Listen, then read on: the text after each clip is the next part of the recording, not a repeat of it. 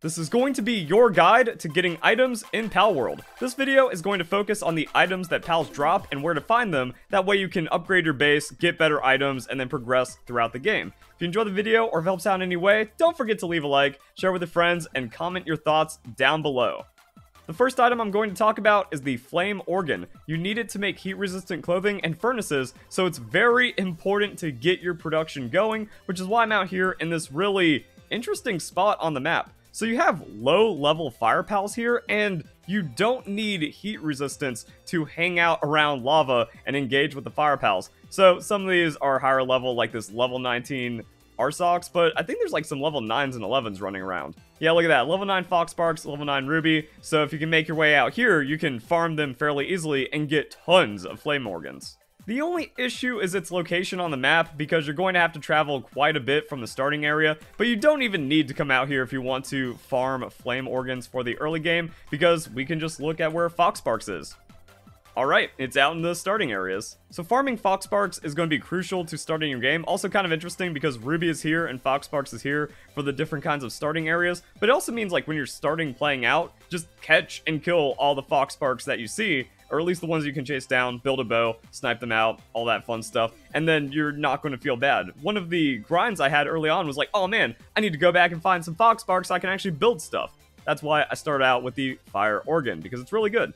Next, we have Pal Fluids, which is effectively the organ for water-type pals, and you're also going to need a lot of it. Fortunately, you just find a lot of water-type pals in the starter areas as you begin your adventure. Just go towards water, and you'll probably find some pals that also drop water fluids. A very good spot for farming pal fluid is going to be by this boss Azure because we have some shallow waters around here that just has tons of pals all around. So you KO them and then you get your pal fluid. And that kind of shows how this guide is going to work. There's going to be a really good farming spot that's out of the way, but also if you just need the base resource, then you can either check your pal deck for pals that you've already caught, like, oh wait, how did I get that horn? Where did it come from?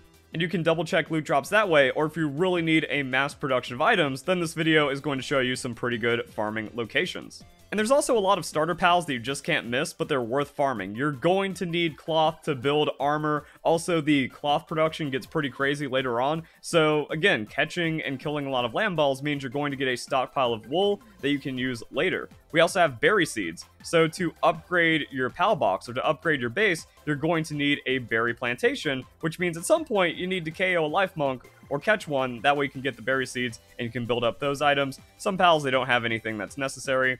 Tanzee, Mushroom, not needed.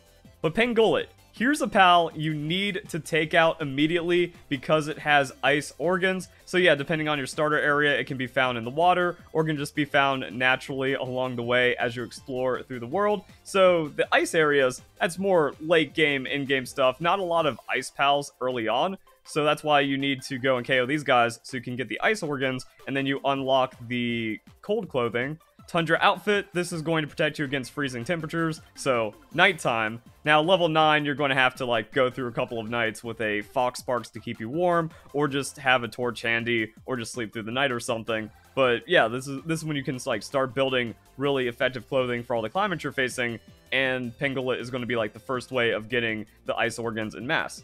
After that, it starts getting higher level late game stuff, so just kind of like go to cold places or defeat ice pals you naturally encounter, and you're not going to need an insane amount, so it's it's it's necessary, but you don't need to hard farm the ice organs. Same thing for electric organs. You're going to need them, but you probably won't have enough when you need them because electric pals, they're not rare, they're just not something you're out there like farming a crazy amount of. Jolthog, that's going to be deeper from the starting areas. Sparkit is going to be like your main one. You do have to move a bit more inland, and then you have to actually encounter them and battle them to farm them out. So try to get a stockpile of electric organs, but you don't need some kind of crazy amount, and then you can find more and more electric pals as you progress through the game. This desert area is going to have a good amount.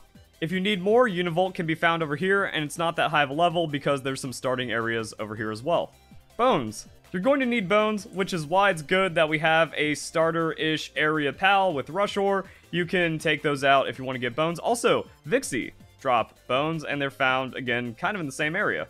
So it's not too hard to get bones, but you should target these pals early on, that way you can have a nice little bit of a stockpile, and it's not something you're going to need to farm crazy. As you expand out, you're just going to naturally accumulate them. Same thing goes for leather, like, oh, you kill a couple Vixy or you catch a couple Vixy, you get leather and bones. Melpaca, really good for wool and leather, so that shouldn't be too much of a problem to get for those items. Now, Venom Glands are a drop you might not find a lot of early on because only certain Dark-type pals drop them, and some of them don't even have a known habitat or can only be found at night. So yeah, Daedream, nighttime only, but then isn't active during the day, so depending on your exploration and stuff. Killamari can only be found in the caves that spawn around in like the grassland and non-snowy mountain areas. Now fortunately, there's one right by the Syndicate base, so we can find all kinds of pals inside of here.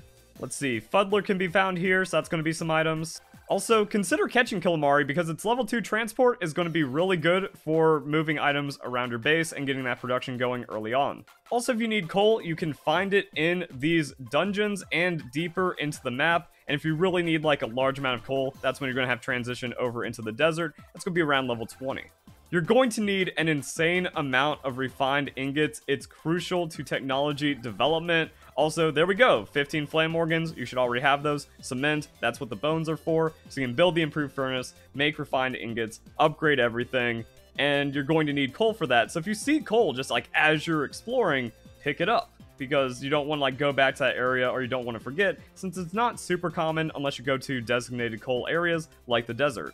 And dungeon exploration is going to be good in general. You're going to find different kinds of pals, you catch, kill them, you get all kinds of items, and then there's a nice little reward at the end.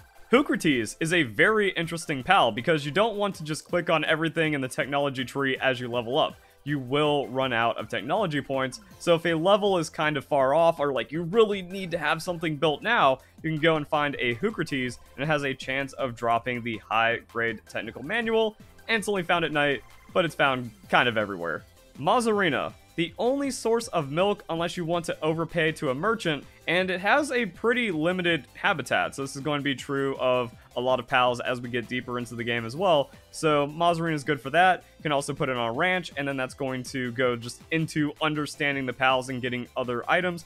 Produces milk, when assigned to a ranch, boom, has its own farming. Flopie is also going to be necessary to your pal adventure. So this area has a lot of pals that drop wheat seeds, and to upgrade your base at some point, you will need a wheat plantation. So you just go out here, and that's how you get the wheat seeds if you already haven't accumulated them at some point, but you really need to upgrade your base. The merchant in the desert town has wheat and tomato seeds, you can also find them from some other pals like Mossanda, and again, that's where it's like, ah, yes, you get a little deeper in, and then you find like some of the other pals that have these kinds of drops. Also, if you want to know the drops for a specific pal, I did a video where I went through the entire pal deck, so you just kind of like look over and see what they drop. I'm not doing it for this video because kind of be redundant. Woolipop, though, is a fairly early source of high quality PAL oil, and again, you're going to need that for the technology because you will need to make polymers. Polymers are going to be used to create circuit boards, and when you get into the super duper late game, you're going to need a crazy amount of circuit boards for all the cool saddles. Circuit boards and polymers are needed for an electric furnace, which is going to unlock the ability to craft the highest tier metal in the game. And yeah, the factory stuff also gets pretty crazy with that. Alright, let's see what we got over here. So this area with the Woolipop is going to have pals that are like level 10 to 16, so getting into the teens for levels. And there's a level 10 Mozzarina, just so you have an idea of what you're up against here. And then Broncherry will get into the higher levels, being a more difficult pal to face depending on where you're at in the game. But hey, tomato seeds. And since you're going to need so much high quality pal oil, Relaxaurus is a good one for that. Also drops Ruby, so you can make a little bit of money on the side, and that can be found in this area, so good farming location. And then an even better pal for farming high quality pal oil is going to be the Mammorest, but that's going to be a stronger, harder pal to farm on mass. So when you like start getting guns and really powerful pals, that's when you can farm Mammorest and then do a lot of really big technology upgrades. I had decent luck finding Mammorest around No Man's Trail, but that's also like higher, deeper into the game, and it might just be more common in some of the other areas that it's found. That's where I went when I wanted to get my Jetragon saddle. Punk is unique because it drops the keys to unlock certain chests, but it's actually a more in-game pal. Some stronger late game pals start dropping some crazy stuff. We have ingots, we have certain pals dropping refined ingots, and even pal metal.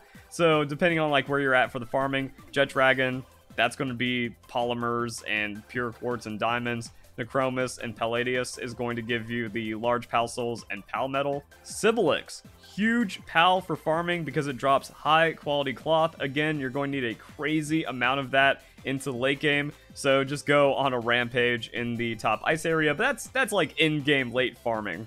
Lovander drops cake, which is needed for breeding, and it can be found in the deserts at nighttime.